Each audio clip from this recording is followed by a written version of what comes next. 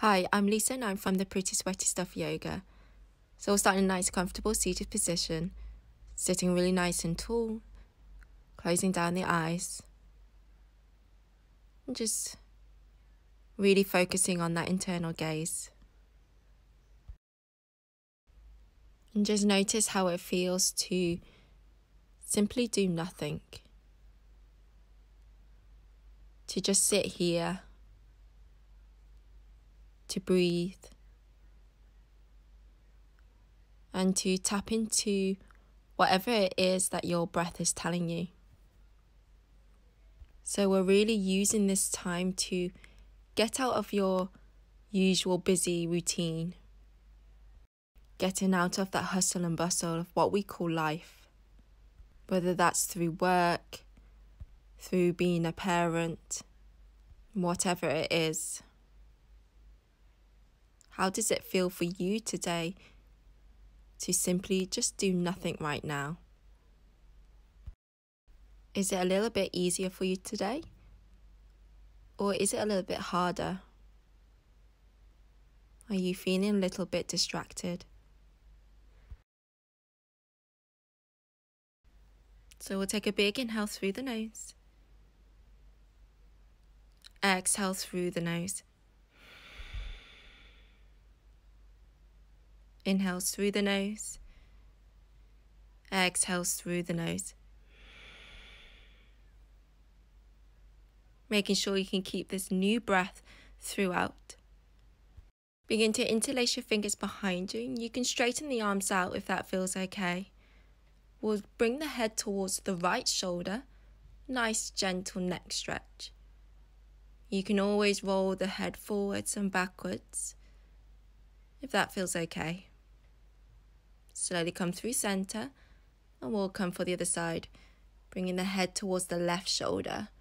And again, maybe rolling forwards and backwards. Just searching for any nice sensation. Coming back through center. Inhale, reach your right arm up. Exhale, bring your right fingertips between the shoulder blades. Maybe using the head to push the elbow back. You can stay here if you like. Left hand can come top of the right elbow and again use the head to push the elbow back. If you're a little bit more open today, maybe you like to reach your left arm around your lower back and then grab onto the right fingertips. Feel free to place a strap or a t-shirt between the hands to make the arms feel longer as well. Slowly release other side. Inhale, float your left arm up. Exhale, bend into that elbow, fingertips between the shoulder blades. Maybe staying here. If you like, right hand on top of the left elbow using the head to push the elbow back. If you're a little bit more open this side, maybe you like to reach your right arm around your back and grab onto the left fingertips. Keeping an eye on the ribs and the belly. So make sure everything is drawn in towards the spine and down.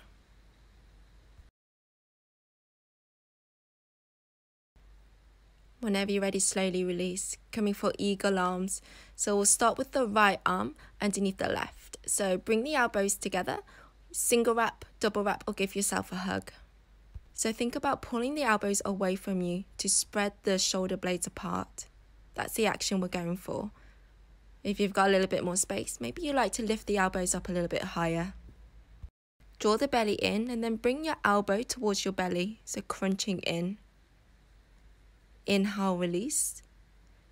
And as you exhale, crunch everything back in, chin to chest. One last time, inhale, release.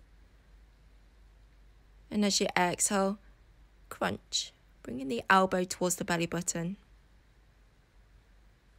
And then slowly release. Other side, wrapping the left arm underneath the right, single wrap, double wrap, or give yourself a hug. Can you create a little bit more space between the shoulder blades here? Take a deep inhale, and as you exhale, crunch, elbow to belly button. Inhale, release. Keep the ribs nipped in, and as you exhale, crunch, elbow to belly button. One last time, nice and slow. Inhale, release. And as you exhale, crunch it back in. Nice tight ball and then slowly release. Bringing your left fingertips to the outside of your left hip. Inhale, float your right arm up. Exhale, gently side bend over towards the left. Maybe lowering down to the left hand. If you've got a little bit more space today, you can always go down to the forearm. Inhale, lift. Exhale to the other side. Reaching over towards the right. Maybe shifting the gaze underneath that left armpit. And then inhale, lift. Exhaling, coming to your hands and knees tabletop position. Shoulder stacks on top of the wrists. Spreading the fingers nice and wide, grounding through the knuckles and the inner palms. Toes tucked or untucked, up to you. Inhale, float your left arm up. Exhale, thread it underneath the right armpit. And again, inhale, lift. Exhale, thread. One last time, inhale, lift the left arm towards the ceiling. And as you exhale, thread it right underneath, allowing the left shoulder to hit the ground. Maybe keeping the right elbow bent. Or if you like, you can try reaching it out in front of you, or maybe walk it towards the left. You can always wrap it around your lower back as well for a half bind. Keep checking in with the hips, making sure they're nice and squared. Drawing the belly in and breathe. Coming back to all fours. Inhale, float your right arm up. And as you exhale, thread your right arm underneath the left armpit. And again, inhale, reach the right arm up. And as you exhale, thread. One last time. Inhale, reach the right arm up. Keep pulling back on that left hip. And as you exhale, thread it right under, allowing the shoulder to find the ground. Again, maybe keeping that left elbow bent, reach it out in front of you, or maybe walk it towards the right. If you're feeling up to it, you can always find a half bind. Left arm reaches around your lower back. Just try to find a bit of comfort here. Breathing in through the nose and exhaling through the nose. Whenever you're ready, coming all the way back up, bring the seat to the heels for your child's pose. Reaching the arms out in front of you, turn the palms of the hands towards the ceiling. Keep reaching the fingertips forwards. Can you find a little bit more space between the ears and the shoulders? And can you ground the back of the hand into the mat a little bit more? Whenever you're ready, meeting back in your tabletop. Stepping your right foot to the outside of your right hand. Maybe scoot your left knee behind you a little bit more. Lizard lunge checking that the front knee is pointing in the same direction as the toes. If you've got a little bit more space today, maybe you like to lower down to your forearms. And if the floor seems far away from you, you can always pop the hands and the forearms up with a couple of cushions or a block. Just looking for a nice sensation along the front of that left leg.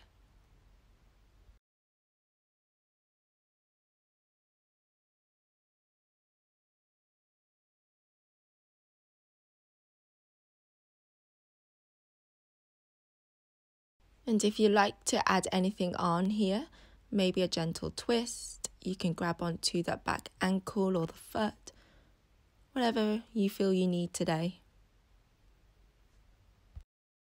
Whenever you're ready, come to pivot yourself towards the left, so the long side of the mat. Bring the seat to the ground as you tuck your right foot in towards the inner left thigh. Interlace your fingers behind the head, nice open chest and just gently side bend over towards that left leg, finding a nice stretch along the right side and a crunch along the left. If it doesn't feel good to look underneath that right armpit, you can always shift the gaze towards the floor. You can always just bring the fists together to keep the chest open. Or if you're feeling nice and open today, you can always just sweep that right arm up and over. Remembering to keep the chest nice and open lifting all the way up, and then come to face that left foot. Keeping a nice long spine, maybe you want to stay tall. If you'd like, you can always begin to fold forwards. Remembering to keep that left knee bent if you've got tight hamstrings. And you can always sit on the very edge of a cushion or a block to make it a little bit softer in the knees and the hips. Slowly lifting up, placing your left hand on top of the right knee, right fingertips behind you. Inhale, create length. Exhale, gentle twist.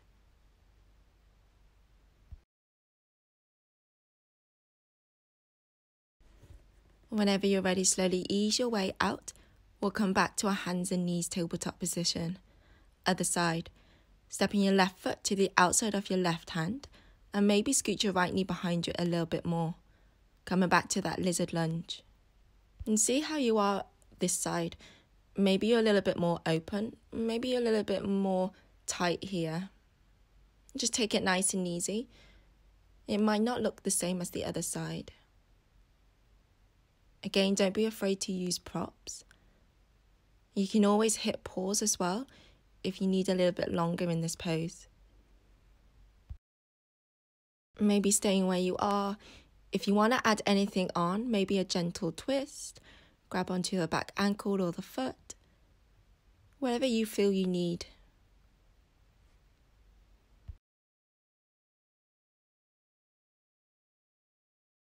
Slowly ease your way out of this as we bring your right leg long to the outside of the hip and then tuck that left foot in. Scoop the belly in and sit nice and tall. Interlace your fingers behind the head and just gently side bend over towards that right foot. Keeping the chest nice and open. If it feels uncomfortable on the neck, you can always shift the gaze towards the floor. Maybe try bringing the fists together.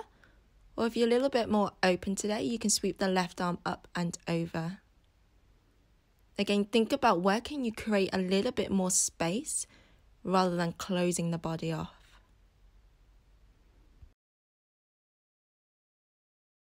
Slowly come all the way up. Come to face that right foot. Sit nice and tall. So again, if you've got tight hamstrings, you can bend into the knee. So maybe stay nice and tall. If you'd like, you can always begin to gently fold forwards. And you can always make this a little bit more comfy by sitting on the edge of a couple of cushions or a block. So we're just looking for a nice sensation along the back of that right leg. Remembering to breathe and not to force anything here. And we'll come all the way back up. Placing your right hand on top of the left knee, left fingertips behind you. Inhale, create length. Exhale, gentle twist. Just making sure you're keeping the belly drawn in. Come back through center and let's bring the soles of the feet together. So again, maybe you like to sit on the edge of a couple of cushions or a block. Nice and easy going for the hips and the knees. You can stay tall. Really press the feet together. Or if it feels okay, you can begin to fold forwards, relaxing in here.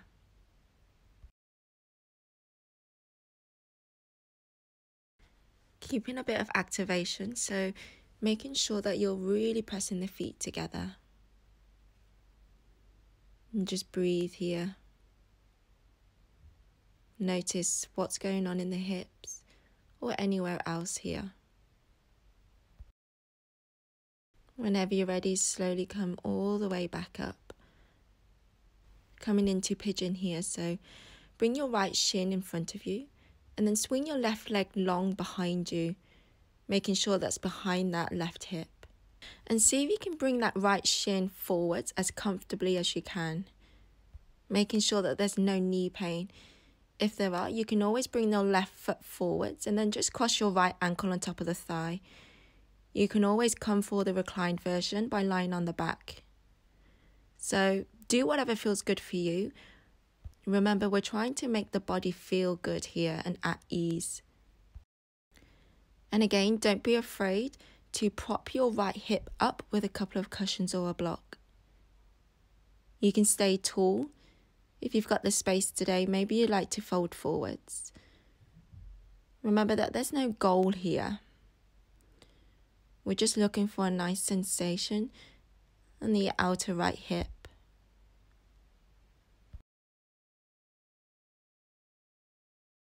Is your breath still nice and soft here? Inhales through the nose and exhales through the nose. Just making sure you're not straining here. Whenever you're ready, slowly lift all the way up or come to the other side. Take whatever transitions you need to before you settle into the left hip. Remembering both sides different, so if it doesn't feel good, you can bring your right foot forwards, then cross your left ankle on top of the right thigh, or you can always come to lie back for the reclined version. Again, be in a place where you can just find softness, a place where you can breathe real easy here. Maybe placing again a couple of cushions underneath that left hip or a block, or even under the head. Sometimes it's these moments of stillness that's the most difficult for some of us. We don't have the fast pace of moving here. And sometimes when we're just still, thoughts can creep back in but just keep focusing on the breath. Again, if you need a little bit more time, just hit pause. Otherwise, we'll slowly come to on our backs, hugging the knees in as you gently rock side to side. Gently massaging into the lower back. Keep the lower back grounded as you separate the feet and the knees wider than hip width distance apart. You can stay here if you like. Grab onto wherever you can along the legs the ankles, all the outside of the feet, sending the soles towards the ceiling. Happy baby. Trying to see if you can get the knees towards the outside of you if that feels okay. Remember, it's not the goal, it's wherever you can feel the sensation. When you're ready to hug the knees back in, gently rock side to side. And then just gently guide the knees over towards the left and if it feels okay, you can always allow the arms to fall open.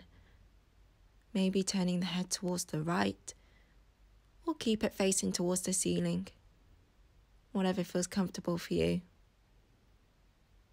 And if this feels a little bit awkward on the lower back, you can always pop the knees up with a couple of cushions or a block. Just finding ease here. Whenever you're ready, come back through center and then we'll come for the other side. Releasing the knees towards the right. And again, if it feels okay, maybe allow the arms to fall open. Maybe turning the head towards the left.